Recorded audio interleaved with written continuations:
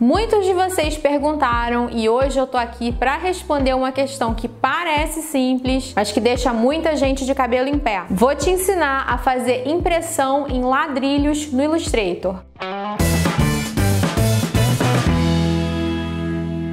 Olá, queridos! Tudo bem com vocês? Sejam muito bem-vindos ao Vetorizaí, o canal onde você aprende sem sofrer. Eu sou a Gabi Ferraz, estou sempre por aqui, só preparando conteúdo maneiro para te ajudar na sua vida de estudante, de profissional. Em troca, eu peço muito pouco, só te peço para deixar o seu joinha nos vídeos, se inscrever aqui no canal para não perder nada do que rola por aqui, ao mesmo tempo em que ajuda a gente a continuar crescendo. O vídeo de hoje foi pedido de um seguidor, na verdade, mais de uma pessoa já me pediu isso, que é como a gente imprime um formato grande em várias folhas no Illustrator. Vou te ensinar a como quebrar a impressão de um grande formato em quantas folhas você quiser ou precisar. E de quebra, vou fechar com uma dica que vai mudar totalmente o seu fluxo de trabalho. Bora lá! Então vamos lá, gente, para demonstrar para vocês como a gente pode fazer essa composição para imprimir um arquivo grande em várias páginas, eu vou usar a mesma arte num formato A2 e num formato A3. O método vai ser o mesmo, mas a gente vai exemplificar em dois formatos para poder fixar bem esse conhecimento. Vamos começar pelo A2. Eu tenho aqui a minha prancheta, quando eu seleciono a arte, vocês podem ver a dimensão A2 aqui em cima.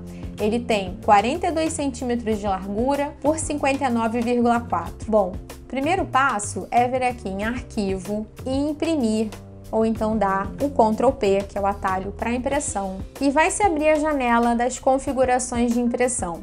Você pode ver que como a arte é muito grande e o tamanho de mídia está como definido pelo driver, mas ainda que a gente bote aqui a 4, que é o tamanho que tradicionalmente a gente imprime em casa, eu consigo ver só uma parte aqui da minha arte, a parte central. Para eu quebrar isso aqui em vários ladrilhos, e aí eu acho que eles dificultaram um pouco na tradução, eu preciso vir aqui em escala, abrir o menu drop down e pedir áreas de imagem máxima de blocos gráficos. O fato deles terem tirado a palavra ladrilho e em inglês você vai encontrar a palavra tile, para mim faz diferença no fato de algumas pessoas não estarem conseguindo achar tão facilmente esse comando. Se você vier aqui em áreas de imagem, o último item, você já vai ver que ele vai separar para você essa arte na proporção que ela possui, que é quatro vezes um A4. Afinal de contas, é exatamente isso que o A2 é. Só que você também deve estar observando que ele separou muito rente. E a gente sabe que nas impressoras caseiras, a jato de tinta, a gente não consegue aproveitar 100% da área do papel. Sempre fica uma bordinha.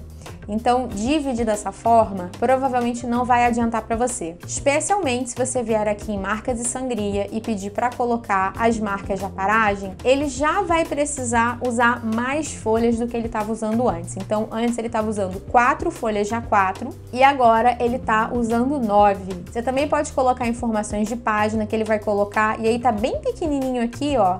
Tá vendo? Do lado da mãozinha aqui do mouse, vai entrar o nome do arquivo. Mas ainda assim, ele está trazendo um corte rente. Vamos gerar um PDF com isso daqui. Eu vou colocar a impressora PDF aqui, tá? Eu vou dar concluído e depois eu vou voltar lá dentro de novo. Então, beleza, fizemos essa configuração inicial. Eu quero agora mostrar para vocês um item de menu que vai ajudar na visualização desse processo. Vindo aqui em exibir mostrar, imprimir lado a lado, você vai ver esses grids aqui, tá vendo, ó, em preto? Ele traz para o arquivo essa divisão que a gente fez lá dentro do menu imprimir.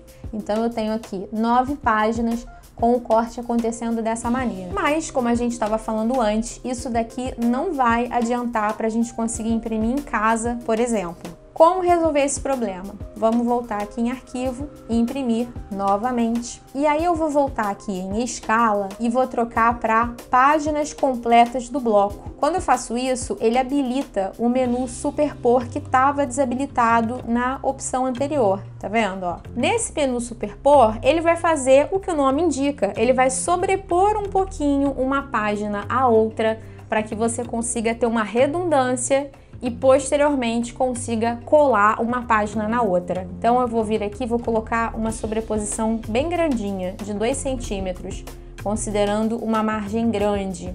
E aí você pode ver que aqui ele já mudou, tá vendo? Eu tinha uma linha única, agora eu tenho linhas duplas dividindo cada uma das partes. E eu vou dar concluído de novo. E pronto, já se refletiu aqui fora essa mudança que eu fiz você consegue ver, tá vendo? Ó? Chegando mais pertinho, a página 1, ela termina aqui embaixo, ó, nessa linha um pouquinho mais preta, tá vendo? Só que a página 4, ela tá avançando por cima da página 1, de modo que essa, esse pedacinho daqui, ó, onde o meu mouse está tocando, ele vai ser impresso duas vezes na página 1 e na página 4, para a gente conseguir montar esse quebra-cabeças. Então vamos voltar lá de novo pela terceira vez aqui no menu imprimir e vou mandar gerar um PDF.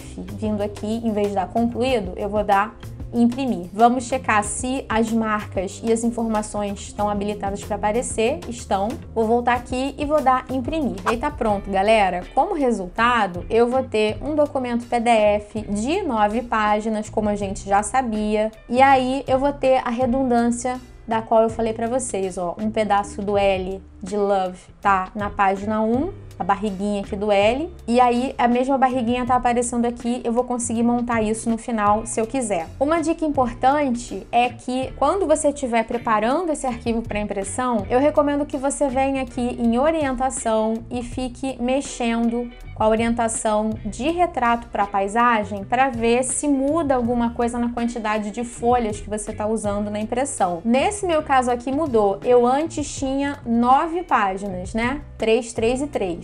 Se eu mudo para paisagem, eu consigo imprimir em oito páginas. Então, isso vai representar a longo prazo uma economia boa de papel, porque eu vou usar uma folha a menos cada vez que eu for imprimir um impresso de grande formato como esse. No A3, só para a gente finalizar, vamos dar uma olhada como ficaria isso daqui no A3. Então, se eu mando imprimir já com as páginas completas do bloco, sobrepondo 2 centímetros, eu tenho quatro páginas sendo usadas, sendo que se eu mudar aqui para a paisagem, eu tenho um resultado pior, porque eu uso seis páginas em vez de quatro apenas aqui. Então você vê que a caso a caso você tem que ir checando. Se você quiser, você pode sobrepor menos também. Eu fui exagerada, de repente um centímetro já é suficiente. E aí é só mandar imprimir o PDF ou então escolher a impressora onde você vai efetivamente imprimir a impressora da sua casa, do seu trabalho, enfim. Última dica para gente fechar é a cereja do bolo, mas antes de eu compartilhar essa última dica que vai mudar mudar a maneira como você trabalha, quero te lembrar, não deixa de dar o seu like, já dá o like agora para você não esquecer e se inscreve aqui no canal. Fazendo isso você ajuda a gente é de graça e você ajuda a gente a continuar com o nosso trabalho. A última dica é que você pode salvar as suas predefinições de impressão. Vindo aqui do lado, nesse íconezinho de uma setinha caindo dentro de uma outra caixinha de um computador, não sei o que é isso daqui, mas você clica e ele vai te pedir para colocar um nome. Vamos colocar aqui de print ladrilhos. E aí tá pronto. Quando você for imprimir novamente um grande formato, é só você escolher aqui das predefinições o seu formato que está aqui salvo, o print ladrilhos, que vai trazer todos esses parâmetros que você um dia definiu, vão estar tá salvos aqui para sempre para você. E com isso, além de economizar o papel que eu falei antes, você vai economizar o seu tempo, porque não vai precisar configurar tudo de novo. Se você gostou, compartilhe esse vídeo com a galera da faculdade, com o pessoal do trabalho trabalho. Salva aí nos favoritos, porque quando você precisar fazer isso, talvez você não se lembre do caminho. E deixa aqui o seu comentário falando o que você achou e o que, que você gostaria de ver no próximo tutorial. Eu vou ficando por aqui, um beijo e até a próxima. Tchau!